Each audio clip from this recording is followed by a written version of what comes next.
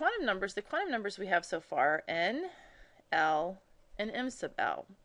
n, of course, can vary um, integers 1 to infinity, so 1, 2, 3, etc. L, uh, and n, of course, is telling us the energy of the electron and the size of the region in space. L is giving us information about the shape of the region in space. And L varies um, from 0 to n minus 1. So L um, for 0 can only be 1. For quantum energy state um, n equals 2, principal quantum number 2, it can be um, 0 or 1. And for 3, it can be 0, 1, or 2. M sub L tells us the orientation of those, um, what we would call subshells. We can define N also as the main energy level or shell, L the shape as a subshell, and M sub, M sub L the individual orbital. And it varies from negative L through 0 up to positive L. So for 0, of course, it's just 0. For 0 here, in this case, it can only be 0. For 1, however, it can be negative one, zero, or 1. For 0 here, it can only be one, uh, 0. For 1, it can be negative 1, 0, or 1. And for 2, it can be negative 2, negative 1, 0, 1, or 2.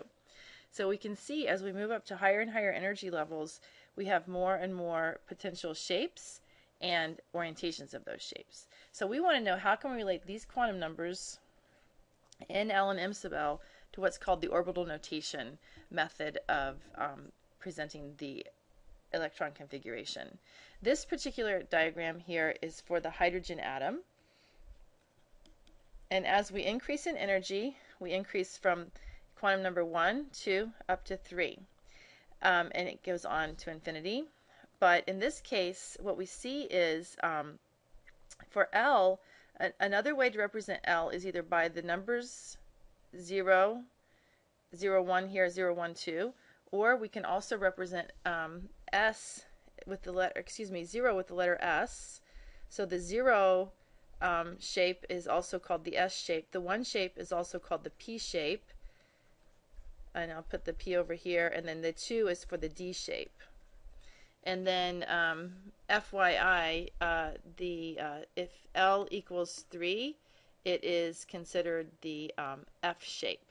And we could go on uh, past that. Um, when L is equal to 4, it's called the G shape, etc. It just goes on. Um, each increasing number gives each increasing letter um, beyond the SP, the D, and the F, and then just G, H, I, etc., etc. But let's just get started here. This is for the hydrogen atom.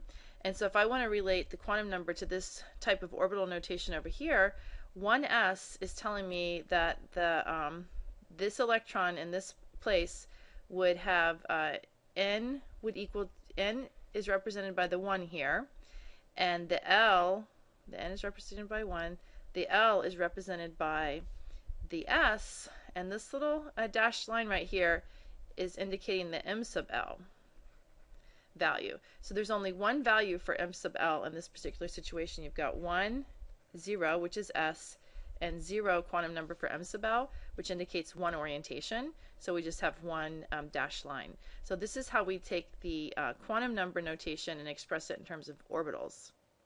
In this case, 2s and 2p, you can see um, the energy shell is 2. Um, within it, we have the subshell S and P, and then S has one orientation and P has uh, three orientations. So the 2 in both cases is for the N principal quantum number. The S here is for the L equals 0 is the S and then L equals 1 is the P. And then since L equals 0 only has one orientation, an M sub L value of 0, then this is the M sub L value represented with this little dash. And then the um, m sub l for when l equals 1, m sub l can equal negative 1, 0, or 1. And those three orientations are represented by these three dashed lines. Okay, so this is what it would look like um, for the hydrogen atom. All right, let's look at one more example of going from electron configuration using the um, the orbital notation and quantum numbers. And this question says state the ground state electron configuration and associated quantum numbers for hydrogen. Okay, in this case, the ground state electron configuration using the orbital notation means uh, use the notation and, and show us where the electron would be in that notation, and then also write the associated quantum numbers. And so we know that the um, for the for for hydrogen, the ground state would be the lowest energy situation, and the lowest energy situation right here is the 1s. Okay, and so the electron, excuse me, whoops, whoops. The ground state electron configuration is going to be that electron is going to be found in the lowest energy level, and so it's going to be 1s, and one way to do it is put a line on top. So the 1 is for the N, the S is for the L. The line indicates that there's one orientation, and we're going to use an arrow to indicate that there's an electron residing in that one orbital. Another way, equally acceptable, to represent it is to say 1s and then put a little number 1 the number one is indicating that there's one electron in this subshell called S, and, it, and the one, of course, is the first energy level. And then the associated quantum numbers, since this number is the N, you write the quantum number N, you go in this order, N, L, and M sub L. You put a comma in between. So it's, it's uh, N equals 1, S is for L equals 0, and there's only one orientation, and so it's 0. So that's the quantum number notation, and that's the orbital notation. The next question says the three quantum numbers for an electron in a hydrogen atom in a certain excited state are n equals 4, l equals 2, and m sub l equals minus 1. In what type of orbital is this electron located? So what this is telling us is that the electron is not in, it's not in the ground state, it's somewhere in an excited state further up on the energy level um, of, available positions. And so if n equals 4, that means it's in the fourth uh, main energy level. So for the orbital notation, I'm going to say, for the electron configuration, I'm going to put the number 4. L equals 2, remember when L equals 0, that means it's S. When L equals 1, they're referring to the P shape. And when L equals 2, that's referring to the D shape.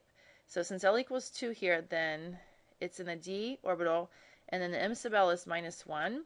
And if you do the, the um, orbital notation indicating all of the different 1, 2, 3, 4, 5 orientations, because it's minus 2, minus 1, 0, 1, and 2, means there's five different orientations, then you just stick the electron in one of those places. It doesn't matter where, because the, the number associated with the M sub L in no way indicates which one of those dashes it should be in. Or another way to write it is to say 4D1. Okay? Um, the last question here, what are all the possible quantum numbers for an electron located in the 2d orbital uh, of the hydrogen atom? Okay, so when we ask this question, the 2d, that means that n must equal 2, L must equal 2. Wait a minute, that breaks the rules for the quantum numbers. Um, the way the quantum number mechanics works, when n equals 2, L can only equal 0 or 1. And in this case, L equals 2. So this is not an allowed place. An electron can never be here because this particular orbital is not allowed based on the rules and experimentally it's not been determined. So this is not allowed. All right, so you can only have orbitals that are allowed um, that have proper quantum numbers. Why don't we switch this and ask ourselves, what are all the possible quantum numbers for an electron located um, in a 2p? And I'll move over here and answer that question. Um, okay, so for 2p, what if I were in a 2p orbital, I had an electron in a 2p orbital, what would be all of our possible quantum numbers? Well, I know that um, n is going to have to equal 2, and um, if that's the case, this is the n, L can be um, 1 or 0, and therefore m sub l can be um, only 0 here, and it can be minus 1, 0, or 1 here. So let's put these together and get all the different possible arrangements of quantum numbers uh, for a hydrogen. In this case, it would be 2, um, 0, 0. That would be this case down here. Or it could be, let's see here, could be 2, 1, negative 1, or 2, 1, 0, or 2, um, 1, 1. All right, so there's four different possible sets of quantum numbers, possible sets, for an electron found in the 2p orbital of a hydrogen. Four different